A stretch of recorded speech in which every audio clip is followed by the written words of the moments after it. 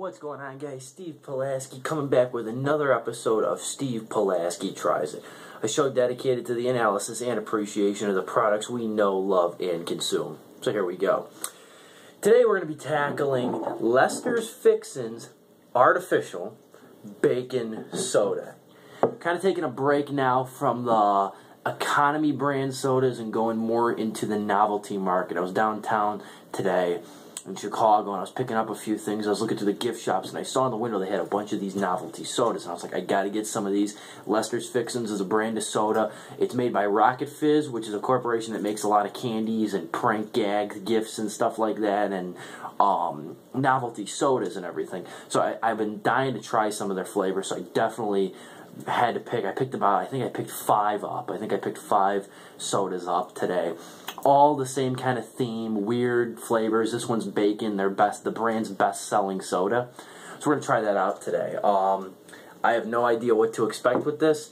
Now, am I a fan of bacon? Yeah, to an extent. I don't like fetishize it over like some people do. Some people go nuts with their love with bacon, and I kind of get sickened by it. I go into gift shops and I see like bacon gum, bacon air freshener. It kind of gets a little bit sickening. You know what I mean? The um, ubiquity of bacon, I guess you would say. Because this, I mean, if you notice, this culture, like, or this country, America, like, you know, just dies for it. You know what I mean? Just goes nuts for it. Um, we're going to be trying the bacon soda. I'm not sure how this is going to taste. I kind of wince at it when I look at it, but you never know. Sometimes these sodas, you know, tend to be surprising. Um, it doesn't have the exact amount of ingredients I see, but I do see. Oh, it actually does. Excuse me, the nutrition facts. I couldn't see it. It's very, very fine print. Um, 170 calories, and this is a 12 fluid ounce bottle, I believe. Yeah, 12 fluid ounces. Um, no fat, 25 milligrams of sodium, 43 grams of total carbohydrates, 42 grams of sugar, so it's very sugary.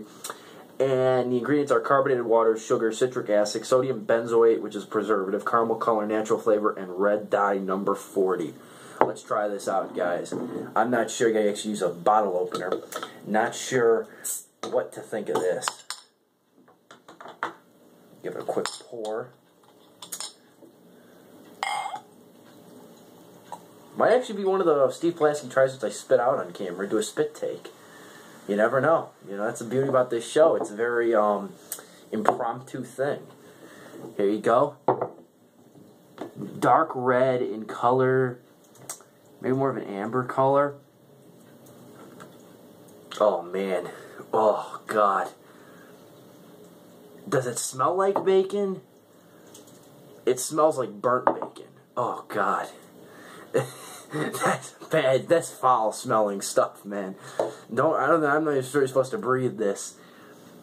Oh god, it almost smells like one of those garbage pail kids. I remember from you know those trading cards they had when you know my generation was growing up, and I think they still do for some reason. It smells like one of those garbage pail kid things. And I bought four or five of these sodas. Not this specific kind, just different novelty kind. Oh god, I don't even want to smell it, let alone drink it. Cheers.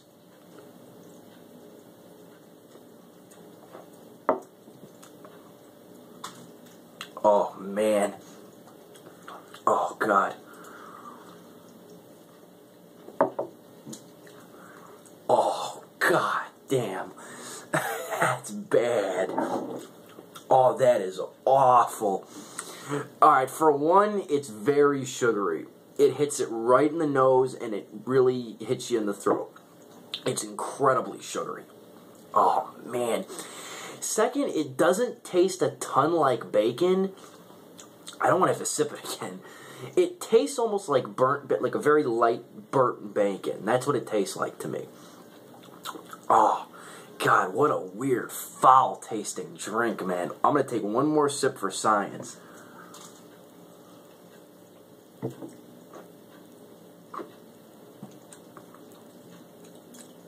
Oh, man. It's like sugary burnt bacon. That's what it tastes like.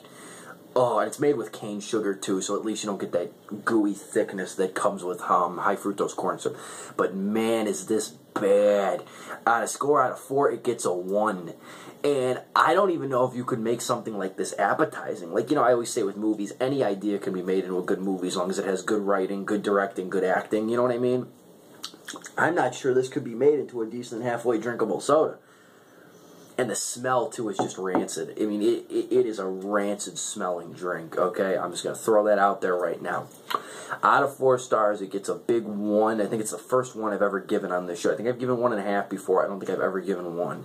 This is a one star soda. Okay, thank you guys for watching. I'm Steve Pulaski, and this may be the first soda in Steve Pulaski tries it that I dump out.